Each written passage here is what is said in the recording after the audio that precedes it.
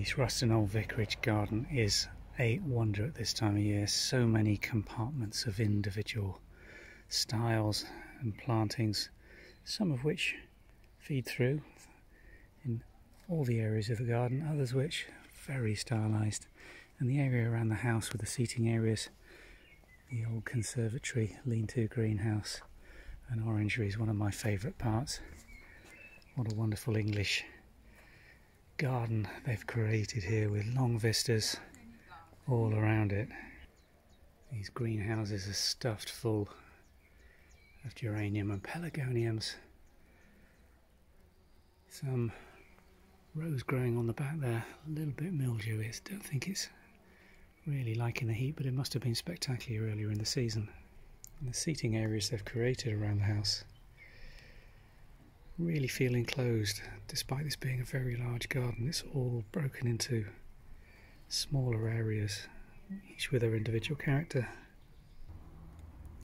Each with an individual feel and uh, particular plantings some of which are just when you get close up so cleverly done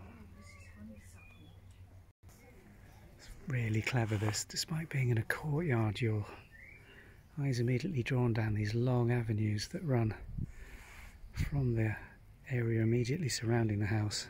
Quite a short parterre garden here with very formal clip box and a dark backdrop. Very little colour other than just the contrasting shades of green.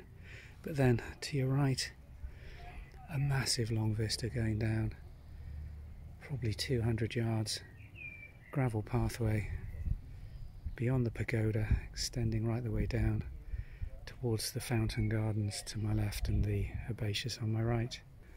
It's easy to overlook some of the structural and architectural features that have been put into this garden. Sheer scale and beauty of some of them are sometimes overshadowed by the plantings that are in them.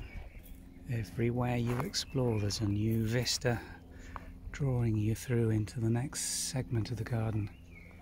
Just look at that. Just makes you want to walk through and go and sit. And I'm sure the view back will be equally enticing. There's lots of seating areas put cleverly into all these compartmental gardens. These hedges must be 12 to 15 feet tall and an enormous workload just keeping them looking so good. central section's been quite recently planted with young red acers Probably repeating the effect and planting of this one just to my right, running right the way over this bench-like seat that I'm on, even growing under it. If that's repeated here, then the whole effect under these cleverly clipped upright trees within this courtyard is going to give a very structured, very beautiful effect back towards the house. Clip box, formal holly in the centre, golden yellow, and a wonderful wisteria just drooping down in front of the leaded windows of the old vicarage.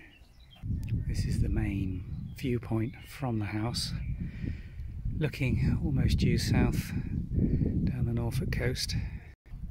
And behind me, a wonderful old vicarage itself sitting very well in this planting I've clipped.